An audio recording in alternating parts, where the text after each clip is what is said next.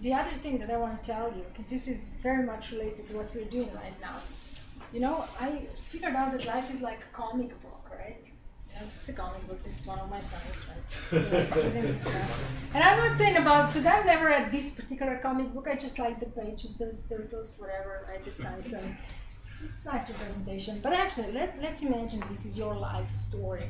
All the events are already in this book, right? So we start here, this is the day one of our life, this is the end of our life, right?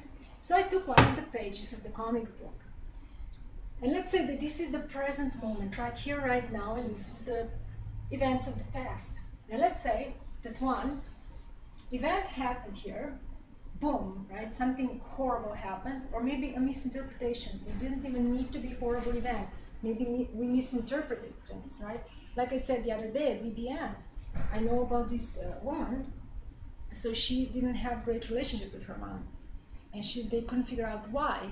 So finally, searching her beliefs, they realized that when she was three years old, she was eating dinner and she asked mom for a candy, and mom said, "Not until you're finished dinner." The girl never finished dinner. She never got the candy. The belief that was formed at that event was, "I'm not good enough. I'm not lovable." And she was carrying that throughout her life, and the relationship with her mom was not okay once the belief was removed, relationship improved. So, okay, let's say something happened, the belief was formed. Beliefs and emotions are attached to each other. That's why beliefs are so powerful, because usually beliefs are attached to it. If there's fear attached to a certain belief. Let's say that the belief was, you know, money is hard to get, right? So there's lots of fear involved in that as well. And now we drag this from that event all the way through all events in our life, all the way to present time. How much money do you think we can have with that belief? Not very much. Not very much, because we believe money is hard to get, right? Yesterday I was sitting down with a lady. Very amazing thing that she told me. She said to me, she said, you know, she, we were talking about her business. She wants to improve her business, financial situation. So we're talking about that. And then I asked her, I said, so where do you see these challenges coming up in other areas of your life?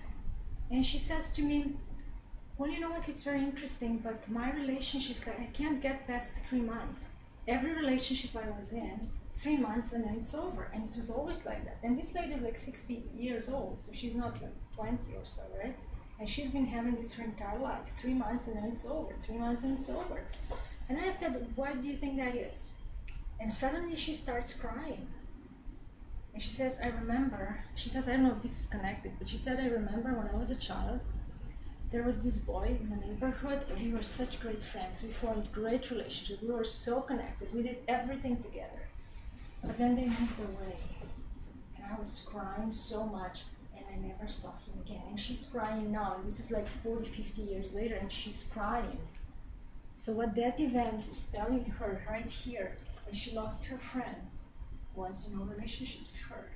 And they're gonna get over sometime right so it's too painful, and now she's dragging them all the way to the present, and all her relationships failed.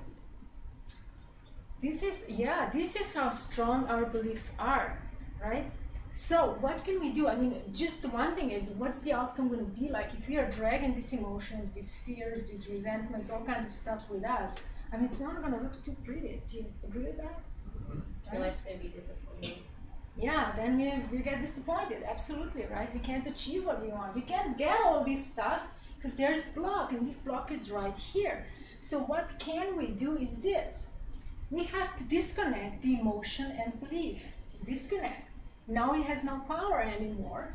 And then we plug in a better belief, a better emotion, something awesome, something great. And if we don't really have it, we can create it. And then we plug it in, and then we take this with us all the way to present time. So if we disconnect the belief that money is hard to get, and we get the belief, I am abundant, how would that change financial situation? Right?